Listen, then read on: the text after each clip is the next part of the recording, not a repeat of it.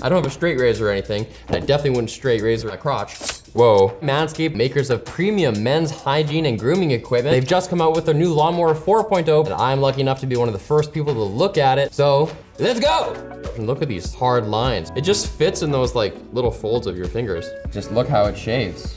Oh, actually that's alarmingly bald. It really is skin safe technology, like really sweet. Waterproof, you can actually use this in the shower. It has an LED on it, so you can see what you're doing. This new thing, like a Kal-El Fortress of Solitude throne, doesn't appear to have any terminals at all. It's a wireless charger. This obviously has to plug into the wall. Via USB type C, that's great. You can just bring one cable with you. Here's another cool feature. This is actually so sick.